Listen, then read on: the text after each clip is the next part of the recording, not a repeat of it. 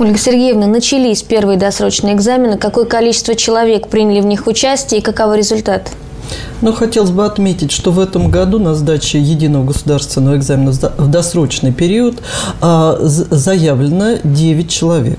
Это прежде всего спортсмены, отъезжающие на всероссийские и международные соревнования в период проведения основного, а, в основной период проведения единого государственного экзамена.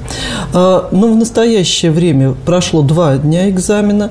У нас были экзамены по русскому языку 21 апреля и сегодня, 24 а, апреля, прошли экзамены по химии английскому языку э, и истории. В средствах массовой информации появилась э, какая-то информация о том, что что-то все-таки было не так, что-то не учли. Э, нужно отметить, что действительно было замечание к Рязанской области из ситуационного центра Рособорнадзора по рассадке участников единого государственного экзамена на русском языке.